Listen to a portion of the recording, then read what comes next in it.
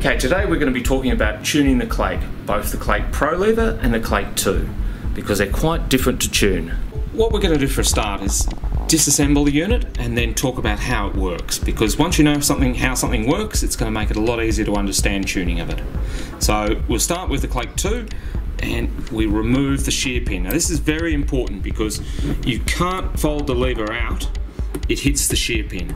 So don't try to remove it. If you try to remove the lever without removing the shear pin, you could break the shear pin off.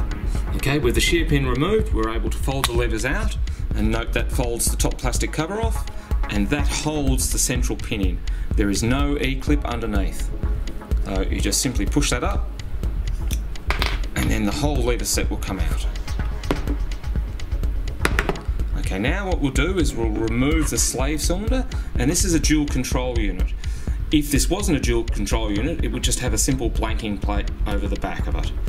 But being a dual control unit, we'll remove this, and that's a uh, 5mm Allen key there, and then there's three 2.5mm button head screws that hold it on.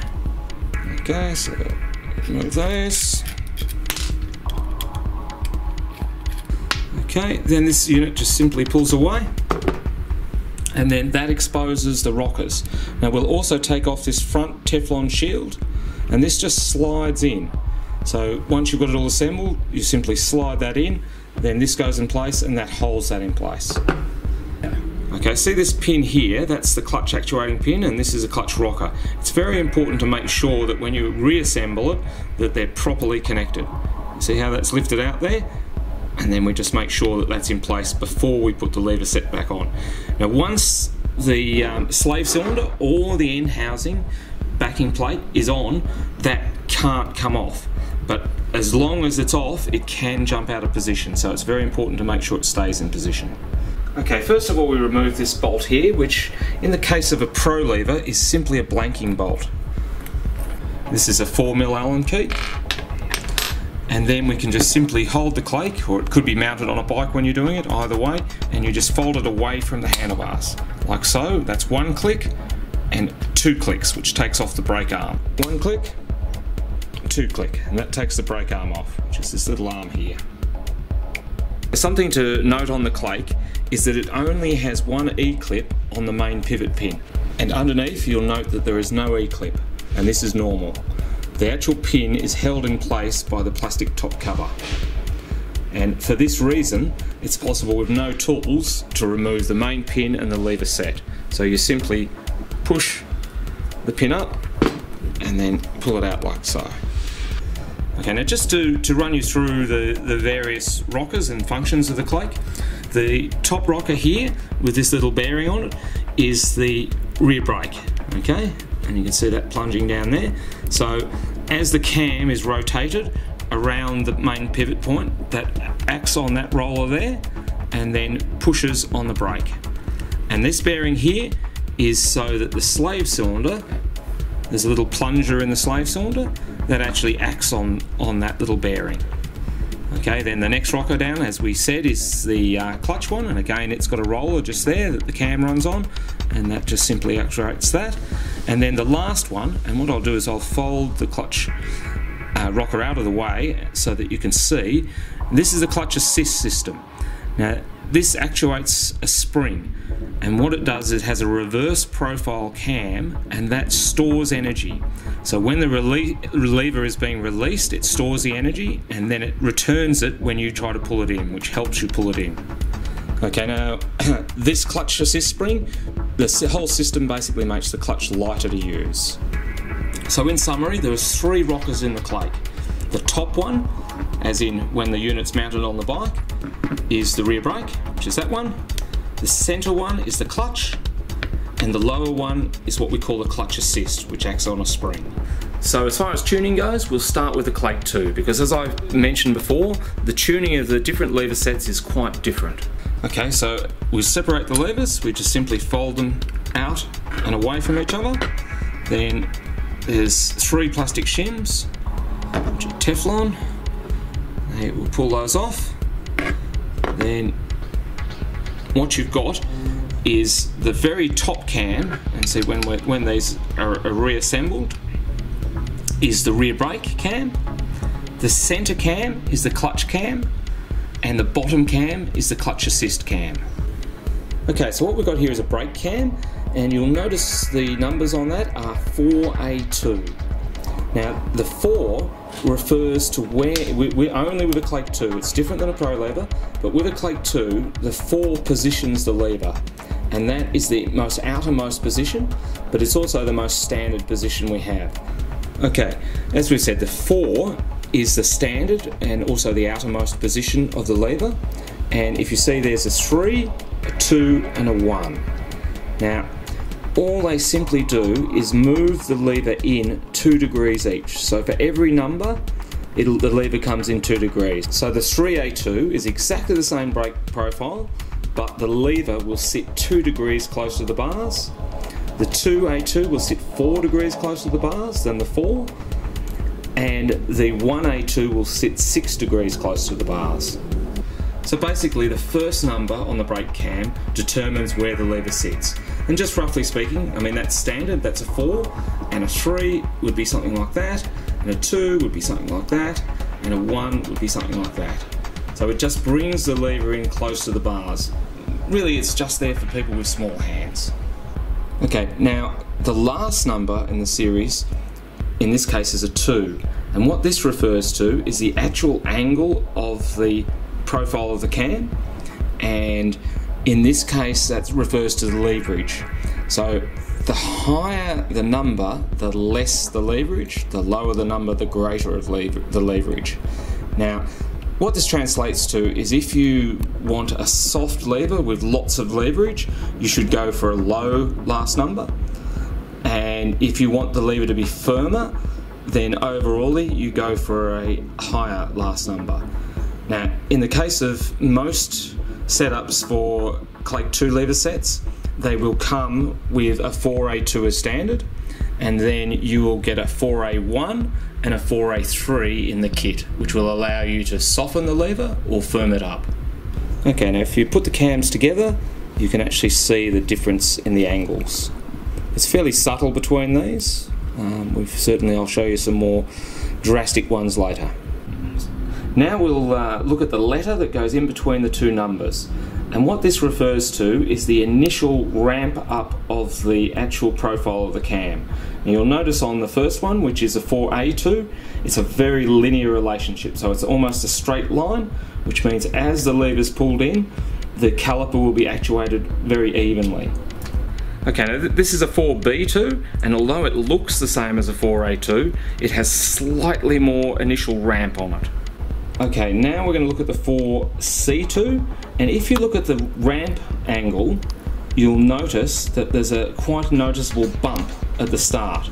And what this does is it allows to take up any hydraulic play or mechanical play in the caliper. So th this ramp here will help take up any hydraulic or mechanical play in the brake system and bring the brake on sooner. Okay, now we're looking at the 4D2, which actually has a more severe initial ramp up in the cam profile. Okay, now we put the 4A2, B2, C2 and D2 together so that you can get an idea of what's happening. Now if you notice the actual end point is the same. So once you've got the lever to the bars to a certain point, it's actually going to feel the same. But how it gets there is different. One comes on earlier and quicker, which is the D, and down to the most linear one, which is the A. This is just an example to show you the extremes. This is a 4A0, and if we remove that, if you look down uh, underneath, you'll see the cam is a 4A7. So you can see the difference in the ramp angles between the two. Okay, so the second thing is the letter, and this relates to the actual start of the profile, and the letter A is the least, it's the most linear, and then the letter D is the most aggressive start on the profile, with the overall ratio always ending up the same. And the last number is basically the leverage ratio. So if you want to have a soft feeling lever with lots of leverage, you go for a lower number, and in that case, the first cam shown there is a, a zero, and then if you want the least leverage, so the firmest lever, you go to the higher number, and that's a 7 shown there. Okay, now the second cam down in the group of three cams on the levers is the clutch cam. And this has a number first, followed by a letter. In this case, it's a 6A, and note that it's a capital A because we actually have two series. We have a small lowercase a and a capital A. Okay, now it's really important to just change one cam at a time so that you can't confuse them. Also though, to note, the clutch cam has a 12mm hole in it, and that goes for the clutch assist as well, whereas the brake is 13, so it's very hard to get those confused. Okay, now these are all clutch cams and these are all A cams and they start from 1 and go up to 8. Now you'll note that there's a capital A and a lowercase a and the series starts with the um, uppercase A and then the next one along is the next number in the lowercase a and then the same number with a, a capital so these are basically a halfway point. Now with the clutch cams, and you might be able to see from the difference between the lift on the 1A, if you went to the 8A, there's quite a marked difference. So the higher the number, the higher the lift in the clutch cam, and therefore at any given point, the more clutch disengagement you'll get once the lever's pulled in. Now, as well as this, the clutch lever can be brought in by approximately 10 millimeters for people with smaller hands, and this is designated by the letter B. So there's exactly the same series with uppercase and lowercase, but they're B cams. So in this case, we're looking at a 1B, and that will bring the clutch lever in approximately 10 millimeter closer to the bars. Okay, now with the bottom cam, it's the clutch assist cam. Now this is the cam that operates against the spring, so if you note, it's a reverse profile. As that roller's going up, this one goes over center and then rolls down. And it's that that helps you pull the clutch in. So the steeper the angle here, the more assistance it's going to give you on the clutch. And in this case, there's two numbers and then a letter. Now, the first number denotes where the assistance starts. Now, one is the earliest start, and this is pretty much a standard start. A 2 starts the assistance 2 degrees later. And what that means is if you see this profile here, basically that's a neutral section, so you're not getting any assistance initially. And if it's a 1 and or a 2, you've got 2 degrees more of the neutral area on a 2. This is with your first number. Okay, now the second number refers to the angle or the amount of assistance given. So in this case we've got a 2 here and a 3 there and you should be able to see the difference in the angle between the two. Now at the after the two numbers you'll see there's a letter okay and this letter denotes as we've discussed before with the clutch where the lever sits in relation to the bars. The B sitting 10 mil closer to the bars than the A. Now it's very important that if you change a clutch cam to a B cam, you must run a B assist cam. With the assist cams, you'll note there's actually, after the two numbers, there's a letter. And again, with this is the same as the clutch. With the clutch, the B cam brings the lever in 10 mil closer to the bars than the A cam. Now, with the assist cams, you must run a B assist cam if you're running a B clutch cam so that the forces align. To change the cams, you simply need a 2.5mm Allen key and we put that in there. It takes a fair bit of force because they need to be done up nice and tight. And then you'll find the cam will just simply, you just got to work it off. They can be a little bit tight.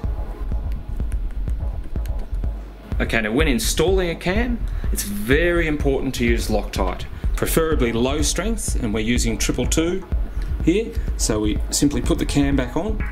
Now it is also vital to make sure see that the cam's not seated properly there? Make sure that it's seated properly. And I actually like to give it a tap with a plastic hammer to make sure that it's down properly. Again very important to use Loctite preferably low strength just a little bit on the thread Try not to get any on the countersink area because it's such a large surface area, it'll lock the, the screw in place too much. Okay, and then we simply put this in. And it is very important to do this up nice and tight. One thing to watch on the brake bearing is that the inner needle roller section can actually fall out. So just make sure that it's in position and always make sure it's well greased and I like to use white lithium grease. Now with both the Pro Lever and the Clake 2 I actually don't recommend going for the B cams or closer cams for the brake unless you've got really small hands because you do need the lever travel and if you bring the levers in too close you won't have enough travel. Now if you want more assistance on tuning the Clake levers, either the Pro lever or the Clake 2, please refer to our website.